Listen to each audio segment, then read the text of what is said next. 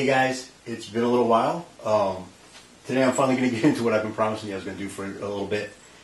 And uh, this is the other side of my studio. You see I got my exercise equipment there. I have a foam pumpkin, foam rubber up there. Got some little regular foam store-bought jack-o'-lanterns way over here that we painted. Um, these guys are actually pretty cool. You'll see them in some scenes.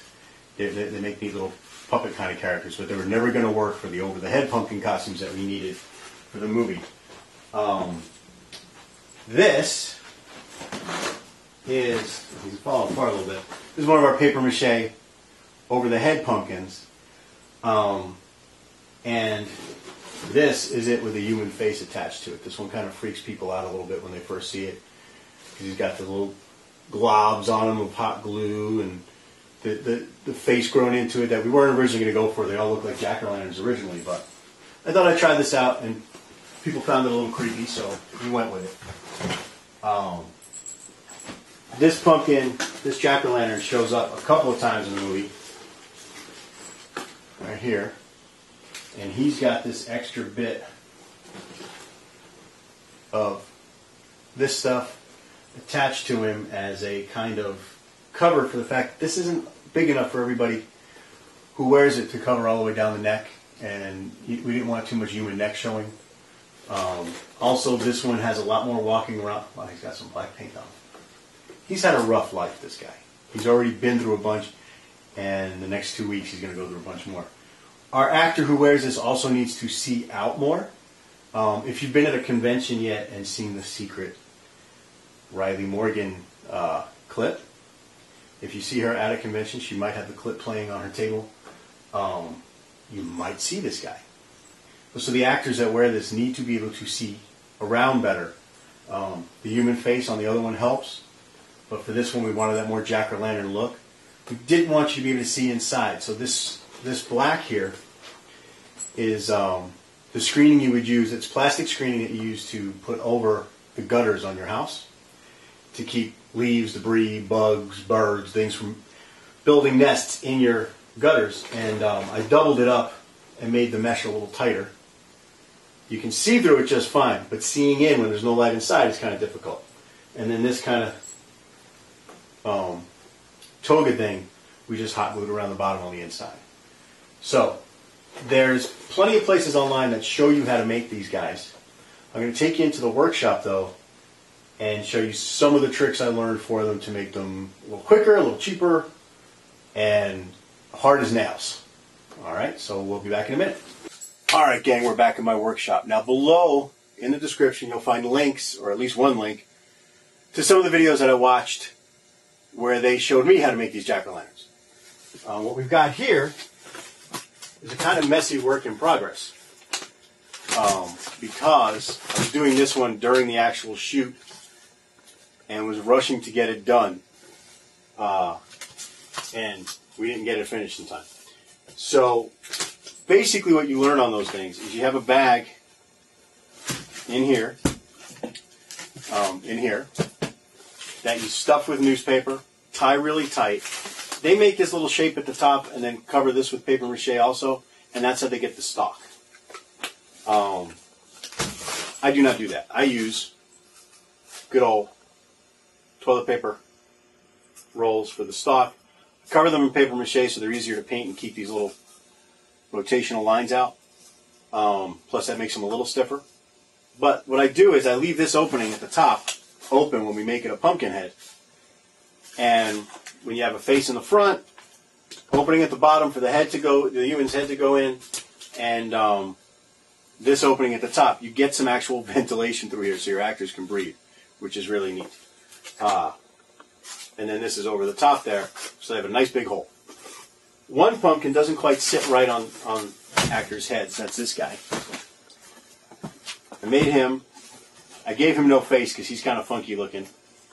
Um, and his gourd on this side came out a little cockeyed. And one of the funny things is, um, I say funny, it's a little annoying, but it's a little cool. The pumpkin shapes are all, the gourd shapes are all basically the same because I've been using the same big bag. Like I said, I like to recycle as much as I can. Um, so for that one, I've been using the same large bag. A lot of the guys will use a trash bag. It was too big for our purposes. I tried it. Um, even the little 13 gallon ones just go up too far. I tried some smaller shopping bags. They were not as successful in giving us um, a shape that would stay. More layers might have helped. Again, these little guys are going to get crushed, so we didn't want them too tough. Um, I've also left the bottoms open on these because they're going to get full of uh, either bags or water balloons. I haven't decided yet with some orange gunk in them, so when they get crushed, they make a nice orange sploosh of pumpkin guts. But these big ones, um, I've been using a big shopping bag, I forget where it's from, and put tape around it. They show string in most of the videos. The glue will stick to the string or the twine. Plastic packing tape, it comes right off of. But what happened was I didn't get as much of a shape of actual um, these kind of splines on the pumpkin. You know these these little each separate deal. I didn't get those. They're more gourd than pumpkin. The other thing I decided to do then, um, if you look at this side, there's a lot of newspaper still on this side. When I was trying to paint over the newspaper, even using a good gray primer, I would have to spray it with gray primer, then two coats of red or orange paint. And I, I tried red primer too, and that was not covering it either. And the newspaper print would show through. Uh, we tried using the white side of recycled scripts because of the wet on the paper mache, it would still show through. So I finally came to the conclusion that this would be a good place to use my brown shopping bags. And this has worked out for two reasons.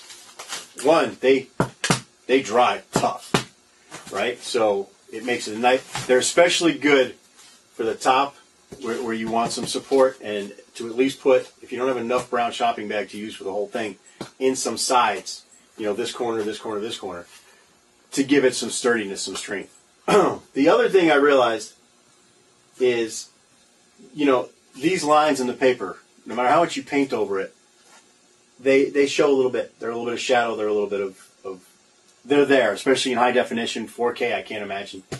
Um, we try to light them so you don't see it as much. In other words, we light them poorly, um, but they'll still show up occasionally. So, what you want to do for your top layer. So what I did, well, and the last thing with the, the brown paper, it does not hold its shape very well. So if you try to make it the first layer, you, you won't it won't stick to the plastic very well. It does, however, stick to other paper well. So what I did was I would use the newspaper or the white uh, A4 that we shred from um, old scripts as the bottom layer. And then most of the videos suggest at least five layers. We've been making these fast. Two layers. So the top layer being the brown paper then helps us to have a stronger, with just two layers, have a stronger pumpkin. Um, it helps us to paint over it and get the orange to read as orange, like that. And where it doesn't read orange, it reads as a darker, you know, brown or orange. Um, and then the final thing is do the lines on the top layer. Oh, look at that, I just wrote that. Do the lines on the top layer going down so that when they do show up, they give more of that pumpkin look. If you do them across, it's going to throw off your, your pumpkin's look. You can see the front here. I still need to do some of the brown paper on top here. Um, but the front here has more predominant shapes. And our very first pumpkin, um, I believe, is this one.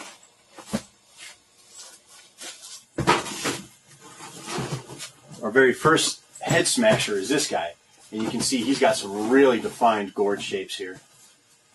And his stalk needs to be fixed. It's flopping off. Um, and then for paint, the first guy, actually that first one's covered in latex too, which is, we did the liquid latex that we used for Gorilla Chest. Um, we did one coating of that over this, which really helped to smooth out the parts of the paper that, you know, didn't stick down properly. The other way to do that is just a really thick coat of white glue which I'll talk about in a second. But so the liquid latex sealed this a little bit. Um, it's given it a lot of good. I mean, this thing's been empty from paper. See the hole in the bottom where we take the, the bags and the stuffing out. This thing has been getting used and smashed over people's heads for weeks now, um, and it's held up pretty well. So that's uh, and then, but you see that the shape changes a little bit every time. So we've been using the same bag with the same basic. Sorry, my pumpkins are falling all over. We use the same bag with the same basic um, tape shape and the same stuffing in there, but it changes a little bit every time. One of the problems is though it loses some detail, so we're going to have to start stuffing it heavier again and tape it down tighter again to start getting new pumpkins. Um, but the fact that the shape changes a little bit every time means no two, even though we're doing it as this kind of factory pushing out pumpkin after pumpkin after pumpkin um, method, they all look a little bit different. So when you see them all together, they don't just look like the same pumpkin over and over again, which is kind of neat. Um, so for painting, what I did was the first one again. I tried spray painting, and I finally covered in a, in a coat of orange latex, which which worked great. But to do a bunch of them, cover the name here. I went to uh, our hardware store and got a pint of pumpkin orange paint. And this, there's a room that people want to have pumpkin orange. You got to shake it every so often. You have to do it spray paint too. And they make these wall paints that are called single coat, which again, with the letters from the um, from the newspaper and the other paper, did not work. If something's printed on it, even this single coat, that print will show through. But on the brown paper, single coat gets it done, which means you can do it a lot faster. Um, the other thing is, it's low fume. They make these house paints with low fume. So when you're working in a place with less ventilation, it doesn't make you as dizzy or stupid as fast. And it's a lot less annoying to uh, be in, in the rest of the house when you've been using this all day. Finally, I say finally, uh, if you're in a hurry, there's there's two ways to make these. The, the many many layers, which then you don't want to soak your paper too much. You want to clean all that that uh, extra goop off, like they show in the videos. Put it on, and just keep rotating the layers around the um, onto each other every 20 or 30 minutes. They don't let it dry completely. Wet paper sticks great to wet paper. If, like me, you needed to get a pumpkin started, go out and do some shooting, come back, continue, go to sleep, edit, drop video into the computer, whatever. What you can do is less layers, but with more paper mache mix. So you take these sheets and you soak them in the paper mache. You see they don't lay as flat. So if you're going to cover it in liquid latex, that's a that's a usable method. Or if you're going to glue them down before you paint it, you can just take white glue and go around and hold these bits down until they're down and they're solid, and then you can just go ahead and paint over it. But what happens is the glue itself is what gives a lot of the strength to these. And the brown paper, if it's soaked, when it finally dries, but it will take overnight at least to dry if you soak it too much. But when it does dry, it's really hard. Um, and so in that case, you wind up with um, a good solid pumpkin, but with a lot of time on your hands going out and doing other things. If you're going to be in the workshop to do it, absolutely multiple layers and coming back to it every 30 minutes is the way to go. But if you have to leave to run errands for four or five hours at a time, like I'm going to do right now after we finish shooting this, then thicker layers, more glue, stronger grade of paper for your top layer, definitely the way to go. Um, that's it for today. I do have to go out and do some stuff. Sorry guys, it's like we're coming up on springtime earlier than I expected. And that means a few things. It means more time that I can drive my uh, non four wheel drive car, which I really enjoy. But also more time I got to get working up at our cabin, not to shoot the movie, but just because it's a cabin and it, it needs to get cleaned up for the season. Um, if you're interested in any of that kind of stuff, seeing leaves get shredded, trees get chopped down the wrong way, um, you know, the things I do in the yard, things I do around the house, trying to fix a gutter the wrong way, any of that kind of stuff, let me know. We'll, we'll start a separate, separate series of videos. And also, um, we're probably going to be adding to the channel. Uh, we're going to keep doing the inside HFPs, but we're going to start trading off um, some skit and fiction stuff also. We have a series from years ago that I want to complete the second season of called uh, The Simplest Things. We lost Pratt during a time travel incident, and he had to wait 40 or 50 years at least. Um, he was about 100 years from his mark, actually, when he got lost in time. But he lives a long time, so we were waiting for that. So five years, really, in a 100 year span, it, it just kind of makes the series make more sense. Um, we're going to bring back some Johnny Pitchman videos. We're going to cross over Johnny Pitchman and Pratt from The Simplest Things. And we're going to start looking at some new web series, uh, one of them actually based on Lumber versus Jack. So keep your eye on this channel. We're trying to grow. We're growing a little bit. Let us know what you do find interesting, what you don't find interesting. Subscribe to keep up with everything. And, um, you know, we'll be back. In the meantime, check out Lumber vs. Jack on Amazon Prime so that when Jack vs. Lantern hits, you're ready and you know what the story is. See you soon, guys. Bye bye.